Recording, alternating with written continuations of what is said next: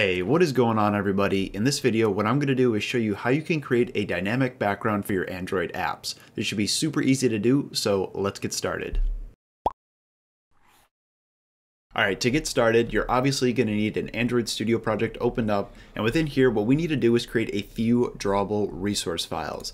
These files are going to define what our background looks like, so you can either come over to the far left panel in your resources folder, expand drawable, right click on it, come down to new drawable resource file, or you could come over to this resource manager tab, click on that, find drawable in this like top toolbar, click the little plus sign, drawable resource file.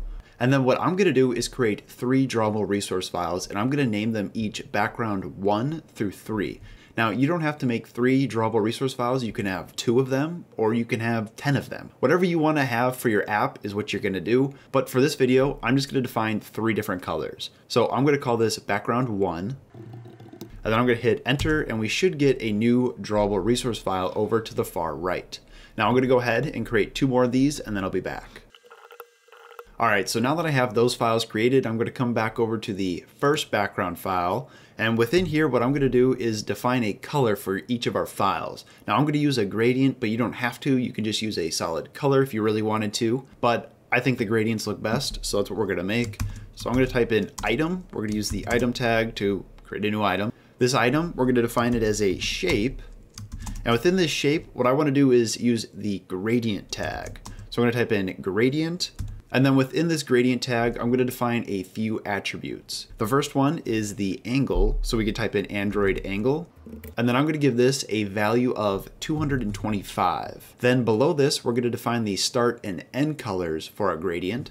So the start color for the first background, I already have one picked out, is going to be this red color. And then the end color for this gradient, I'm going to define it as this one right here. Now you don't have to use these colors, you can use whatever ones you want, or you can use a solid color too. I could show you how to do that in the next background. So if you wanted to use a solid color, I'm just going to copy this, come in here, paste that. Instead of using gradient, just type in solid and then all we need to do is define the color for it. So if I grab that red again, come over to the far right, you can see we just have a solid red color. Now I'm gonna go ahead and define gradients for background two and background three, and then I'll be back.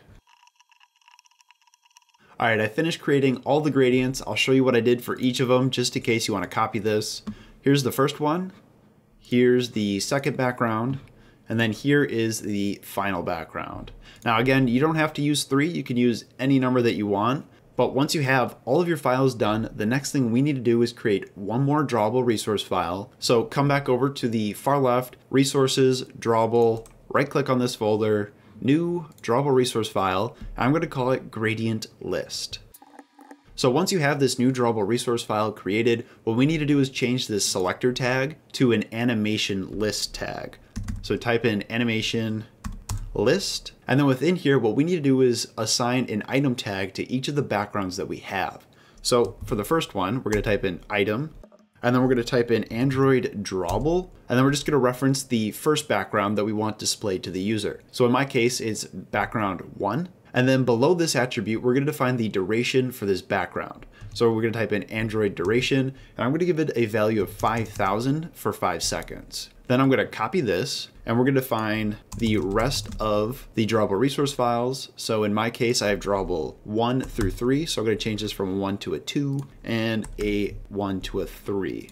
So here's all the backgrounds that I created in an animation list tag. So now that we have this gradient list defined, what we need to do is come into our XML file where we want this dynamic background to be shown. So in our case, it's the activity main.xml file, and we want the constraint layout to have the dynamic background. Now, I have no idea if you can apply this to like a button, I've only ever done it with the constraint layout, so if someone does try that and it works, you should totally leave a comment down below, because that'd be pretty cool if you could have a dynamic background on like a button. But for the constraint layout, this is how you do it. We're gonna type in Android background, and then we're gonna apply the gradient list as this view's background. So we can type in gradient list here, and we're also gonna need an ID for this constraint layout. So we're gonna type in Android ID, and we're just gonna call this main layout. All right, so now that we have this added to our constraint layout, we can come over to our main activity and create an animation drawable object. So we could type in animation drawable. I'm just gonna call it animation drawable. And what we're gonna do is set this equal to the constraint layouts background. So what we have to do is grab that constraint layout from our XML file and store it in a variable in our Java code. I'm gonna type in constraint layout, just gonna call it constraint layout. That's gonna equal our find view by ID, and we gave it an ID of main layout. So that's gonna grab this constraint layout and store it in this variable here. So we're gonna set our animation drawable to this guy's background. So we can grab his background by constraint layout.get background. And this is gonna require us to cast the animation drawable to this background. Now that we have that background, we could set a few parameters for our animation. So we could type in animation drawable dot set enter fade duration. I'm gonna give this a value of 2500 and we can do a exit fade duration. So set exit fade duration, and I'm gonna give this a value of 5,000. And then all we have to do is call the animation drawable dot start, and this should run our animation. Once you have all this code, your dynamic background should be good to go. I'm gonna run this on the Pixel 4 emulator.